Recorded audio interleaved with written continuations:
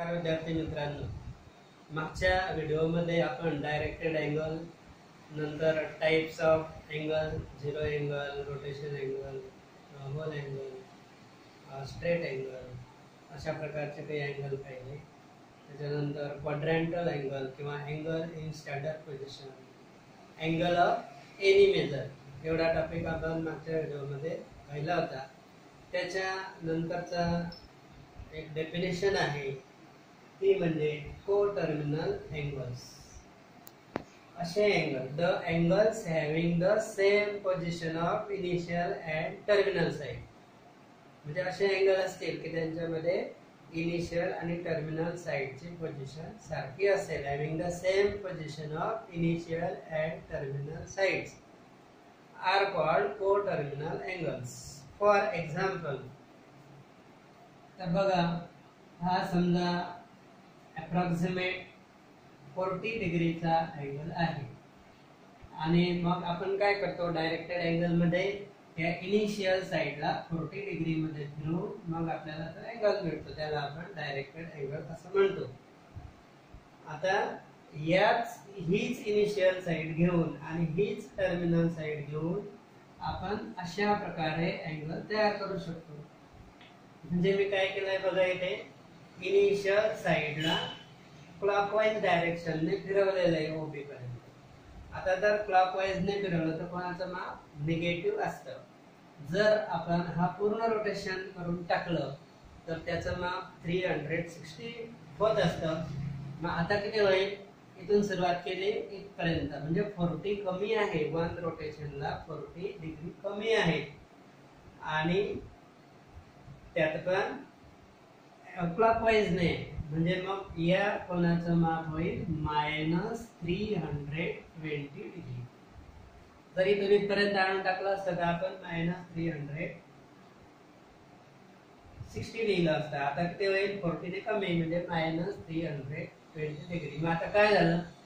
ज्याचं माप फोर्टी आहे आणि ज्याचं माप मायनस थ्री हंड्रेड ट्वेंटी आहे त्याची इनिशियल साईड कोणती आहे? ओ आणि टर्मिनल साईड ओ बी म्हणजे दोघं अँगलची इनिशियल आणि टर्मिनल साईड सारखीच आहे.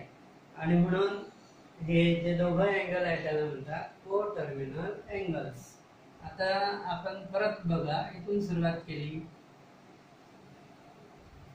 हे कंप्लीट रोटेशन झालं म्हणजे थ्री सिक्स्टी अँटी क्लॉकवाईजने थ्री सिक्स्टी आणि परत हे रोटेशन आपण इथपर्यंत घेतलं. म्हणजे किती माप होणार? One complete rotation plus forty म्हणजे हा जो अँगल आहे तो होणार फोर हंड्रेड डिग्री बरोबर? कारण one complete rotation plus forty three sixty plus forty म्हणजे किती झाले? फोर हंड्रेड डिग्री तरी पण आता ज्याचं माप फोर हंड्रेड डिग्री आहे त्याची इनिशियल साईड पण ते ओएच आहे आणि टर्मिनल साईड ओबीच आहे. म्हणजे अशा प्रकारे क्लॉकवाईज किंवा अँटी क्लॉकवाईजने इनिशियल साईड फिरवून आणि इनिशियल आणि टर्मिनल साईड आपण सेम पोझिशन ठेवून वेगवेगळे अँगल मिळवू शकतो. म्हणजे काय? Having the same position of initial and terminal side are called coterminal angles आता एक अँगल आहे तर त्याच्याशी को टर्मिनल अँगल किती असतील? There are unlimited coterminal angles with the given angle म्हणजे दिलेल्या अँगलशी अनेक कोटर्मिनल अँगल असतील. अँड विच आर ऑप्टेन ते कशा मिळतील which are obtain by adding or subtracting multiples of three hundred sixty degree म्हणजे तीनशे साठच्या पटीमध्ये ह्या प्रॉपर अँगलमध्ये मिळवले आपण. म्हणजे तीनशे साठ सातशे वीस एक हजार ऐंशी असे मिळवले किंवा वजा केले. म्हणजे तीनशे साठच्या पटीमध्ये आपण अँगल मिळवला किंवा वजा केला. जे अँगल मिळतील आपल्याला ते सगळे कसे असतील? को टर्मिनल अँगल आता बघा हा फोर्टी आहे. त्याच्यात तीनशे साठ मिळवल्यावर काय होईल? फोर हंड्रेड डिग्री होईल का नाही? म्हणजे मग हे दोघं कसे आले? को टर्मिनल किंवा आता फोर्टी आहे त्याच्यातून थ्री सिक्स्टी वजा केले तर हा अँगल मिळणार. म्हणजे दिलेल्या अँगलमध्ये तीनशे साठ किंवा तीनशे साठच्या पटीमध्ये अँगल मिळवायचा किंवा सबट्रॅक्ट करायचा. जे पण अँगल मिळतील त्यांना काय म्हणतात मग? को टर्मिनल अँगल्स आता तुम्हाला समजा को टर्मिनल अँगल ओळखायचे असतील तर काय करावं लागेल? दिलेले दोन अँगल आहे त्यांचा डिफरन्स घ्यायचा. आता बघा फोर हंड्रेड डिग्री आणि फोर्टी याचा डिफरन्स घ्या. किती आला? थ्री सिक्स्टी जर डिफरन्स त्याचा मल्टिपल ऑफ थ्री सिक्स्टी आला. म्हणजे सातशे वीस येईल काय वेळेस काय वेळेस तीनशे साठ येईल म्हणजे तीनशे साठच्या पटीमध्ये जर का डिफरन्स आला तर ते दोघं अँगल को टर्मिनल असतात. नंतर पुढची कन्सेप्ट आहे ते मेजर ऑफ अँगल्स म्हणजे कोणाचं माप. तुम्ही विद्यार्थी मित्र आतापर्यंत दहावी पर्यंत कोणाचं माप डिग्री मध्ये पाहिलेलं आहे? डिग्री किंवा त्याला काय म्हणतात? अंश. इथे आपल्याला नवीन युनिट शिकायचं आहे रेडियन मग जे तुम्ही शिकलेले आहात डिग्री कोणाचं माप डिग्री मध्ये तुम्ही शिकलेले आहात. तर अशा दोन मेथड आहे. Measures of angles there are two system किंवा methods of measurement of angles one is sexagesimal system म्हणजे आपण जे नेहमी वापरतो डिग्री किंवा अंश ती सिस्टीम म्हणजे तिला म्हणतात सेक्झागेसिमल सिस्टीम आणि दुसरी सिस्टीम आपण इथे शिकणार आहोत तिला म्हणतात सर्क्युलर सिस्टीम आणि त्याच्यामध्ये युनिट म्हणजे एकक. त्या अँगलचं जे माप आहे त्याचं एकक डिग्रीमध्ये असू शकतं किंवा रेडियनमध्ये असू शकतं. तर ही दुसरी मेथड आहे आणि ही फर्स्ट मेथड आहे. तर ही आपल्याला डिग्री आपण आतापर्यंत वापरत आलेलं आहे. पण प्रत्यक्ष डिग्री म्हणजे काय? तर आता हे पुन्हा हे पहिली मेथड आपण इथे लिहित आहे. सेक्झाडेसिमल सिस्टीम ही फर्स्ट मेथड आहे. तर unit of measurement of angle in this method is a degree म्हणजे ह्या मेथडमध्ये युनिट ऑफ मेजरमेंट. म्हणजे एकक कोणाचं? माप मोजण्याचं एकक काय आहे तर ते म्हणजे डिग्री आहे. पण ऍक्च्युअली एक डिग्री म्हणजे काय मग तर तुम्ही एक सर्कल घेतलं समजा पूर्ण. हे सर्कल घेतलं. म्हणजे वन रोटेशन घेतलं. तर त्याचं माप थ्री हंड्रेड सिक्स्टी होतं हे आपल्याला माहिती. ह्या सर्कलचे आपण जर तीनशे साठ भाग करून टाकले. ह्या सर्कलचे किती भाग केले? तीनशे साठ भाग केल्यानंतर जो एक भाग राहील त्याला काय म्हणतात? डिग्री आपण जर दोन भाग केले तर आपल्याला काय लिहावं लागतं? वन अपॉइंट तीन भाग केले तर वन थर्ड म्हणतो आपण. चार भाग केले तर आपण त्याला वन फोर्थ म्हणतो.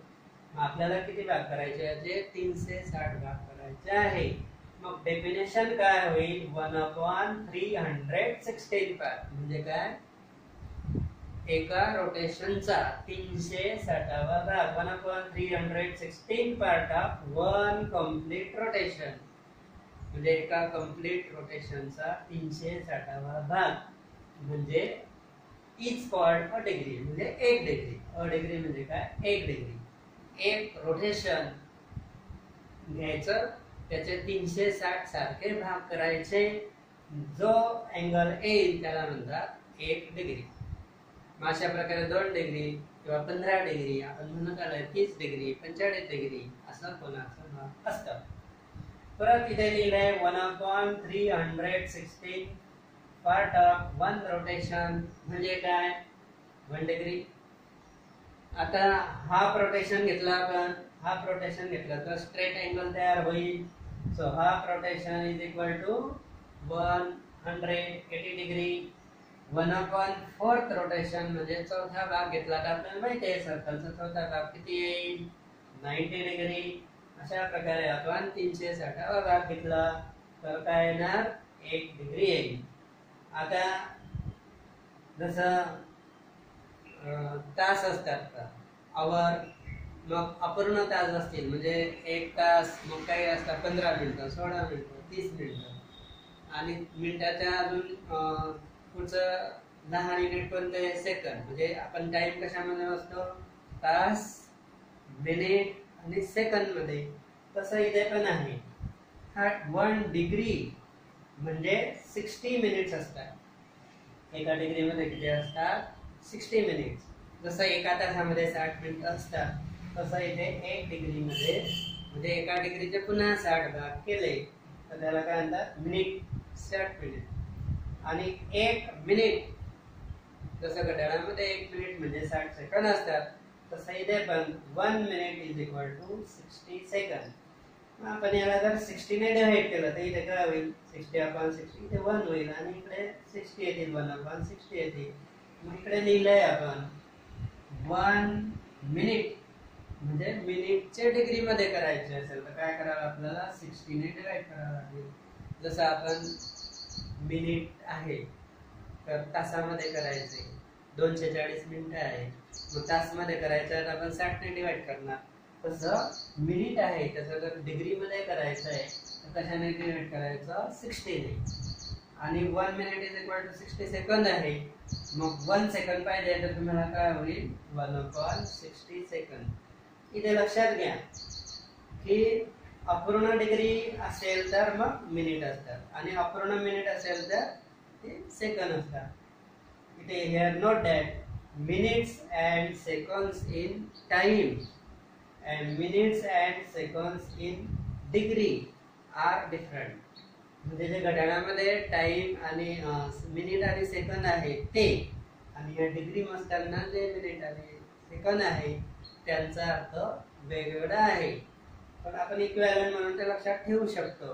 की one degree sixty minute one minute sixty second लक्षात ठेवायला ते आहेत पण ते कसे आहेत वेगवेगळे आहेत आता आपण त्याचा पुढचा पाठ बघू.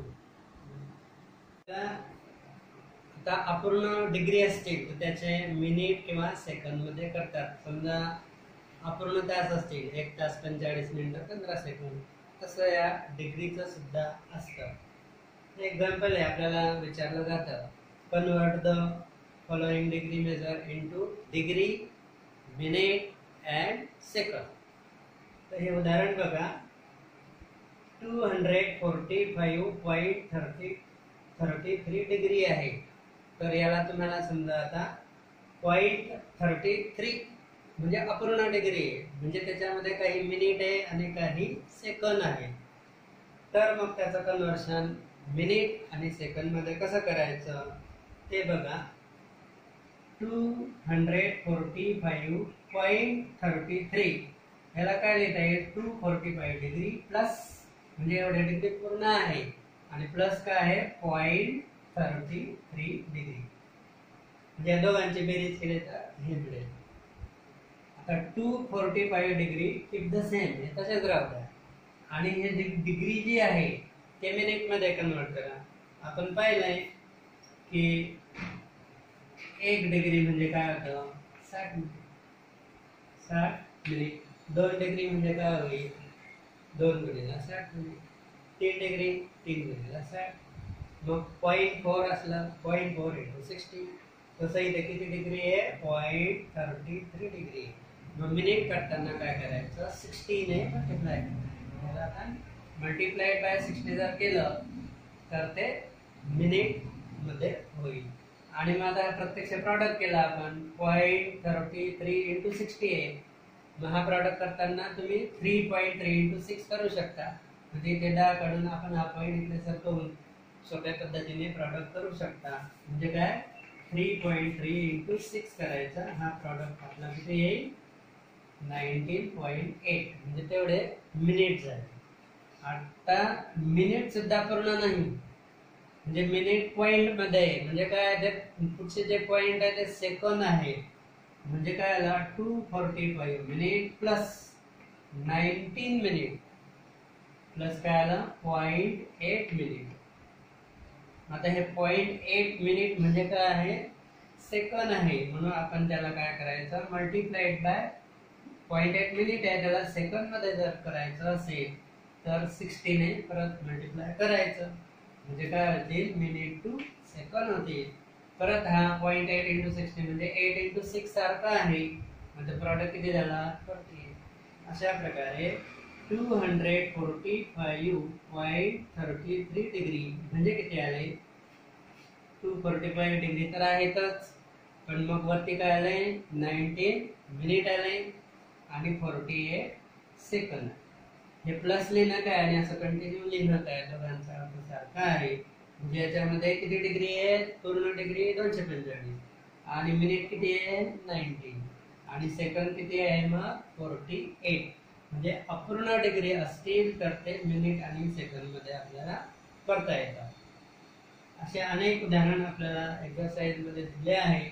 एक्झरसाइज मधलं उदाहरण आपण घेतलेलं आहे. की पॉईंटमध्ये अपूर्ण डिग्री असतील तर त्याचे मिनिट आणि सेकंद कसं करायचं हे तुम्ही बघायचं. नोट्समध्ये तुम्हाला अजून वेगळे उदाहरण सोडवून दिले जातील. आणि विद्यार्थी मित्रांनो नोट्स बघा मग व्हिडिओ नोट्स वाचायच्या व्हिडिओ बघायचा किंवा व्हिडिओ बघा आणि मग नोट्स पूर्ण वहीमध्ये लिहून घ्या. म्हणजे तुम्हाला जास्तीचं आकलन होईल. म्हणजे चांगल्या प्रकारे ते समजेल. आणि तुम्हाला अडचण असला तर तुम्ही विचारू शकता.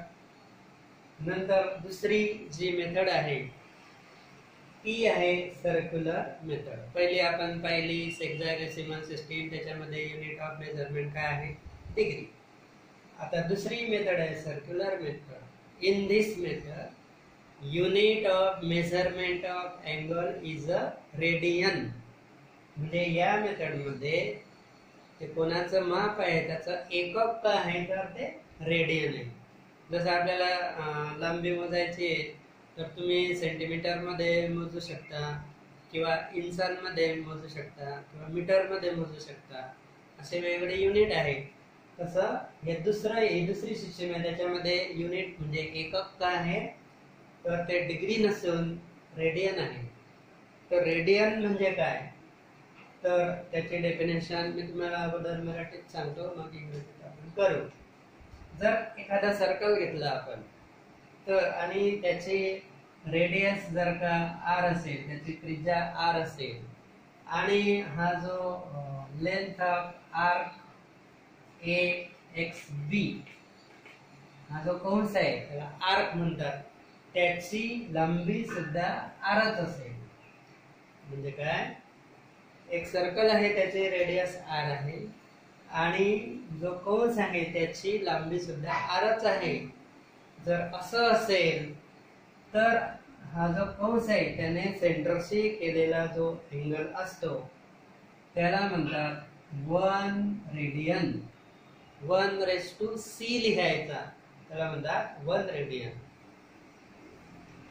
म्हणजे डेफिनेशन काय होईल मग? रेडियन इज द अँगल तो एक अँगल आहे. Radian is the angle subtended at the centre म्हणजे सेंटरशी केलेला तो अँगल आहे radian. Radian is the angle subtended at the centre of circle तो सेंटर ऑफ सर्कलशी केलेला अँगल आहे. By an arc by an arc म्हणजे एका कंसाने तो केलेला अँगल आहे. Radian is the angle subtended at the centre of circle by an arc whose length is equal to radius of circle पुन्हा एका radian is the angle subtended at the centre of circle म्हणजे केंद्रबिंदूशी केलेला कोण? आहे subtended at the centre of circle by an arc म्हणजे एका कंसाने केलेलं. आहे कोणता कंस? Whose length is equal to radius of circle म्हणजे सर्कलच्या रेडियस एवढा जर कंस असेल आणि त्या कंसाने केंद्रबिंदूशी केलेला जो अँगल असेल मग त्याला काय म्हणतात? एक रेडियन आता तुम्ही म्हणाल की याची रेडियस आर आहे मग दुसऱ्याची काही रेडियस म्हणजे याची टू आहे मग दुसऱ्याची थ्री असेल तर मग रेडियन बदलून जाईल का? नाही. तुम्ही रेडियस लहान मोठं सर्कल घेतलं रेडियस बदलवली तरी सुद्धा रेडियनचा अर्थ बदलणार नाही. That is not depend upon the radius म्हणजे सर्कल किती लहान मोठं असलं तरी तो अँगल सारखाच राहणार. त्याला काय म्हणतात? रेडियन मग त्याचे डेफिनेशन अत्यंत महत्त्वाचे. Radian is the angle subtended at the centre of circle by and arc whose length is equal to radius of circle आता ही डेफिनेशन नोट्समध्ये डिटेल मध्ये दिलेली आहे ती आपण बघा ती लिहून घ्यायची. आणि मग जसं शंभर सेंटीमीटर म्हणजे एक मीटर होतं. म्हणजे मीटर आणि सेंटीमीटरमध्ये जसं रिलेशन आहे कसं आता हे रेडियन हे मेजर ऑफ अँगल आहे आणि डिग्री सुद्धा मेजर ऑफ अँगल आहे तर यांच्यामध्ये सुद्धा रिलेशन आहे. Relation between radian and degree तर याच्यामध्ये असं रिलेशन आहे one degree is equal to pi upon one eighty radian म्हणजे एक डिग्री म्हणजे रेडियनमध्ये काय होतं तो? Pi upon one eighty radian किंवा वन रेडियन म्हणजे one eighty upon pi degree तर हे जे रिलेशन आहे त्याच्यावरून काय होईल? डिग्री टू रेडियन आणि रेडियन टू डिग्री लिहिता येईल. आता समजा तुम्हाला थर्टी डिग्री पाहिजे आहे. थर्टी डिग्री थर्टी डिग्रीचे रेडियन किती होते? असं लिहावं लागेल. वन ला किती आहे? काय आपण. मग थर्टी ला किती येईल? Thirty into pi upon one. Eighty काय झालं हे? रेडियन. म्हणजे मग याला जर भाग दिला आपण. तिथे वन येईल इथे सिक्स येते म्हणजे किती आलाय फाय बाय सिक्स रेडियन. तसं फोर्टी पाहिजे आपल्याला रेडियन करता येतील. नाईन्टी डिग्रीचे रेडियन करता येतील. याच्यावर भरपूर एक्झाम्पल पुढील नोट्समध्ये आहेत. पुढच्या व्हिडिओमध्ये आपण डिग्री आणि हे रिलेशन कसं आलं? म्हणजे obtain the relation between degree measure and radian measure हा एक थेरी प्रश्न आहे.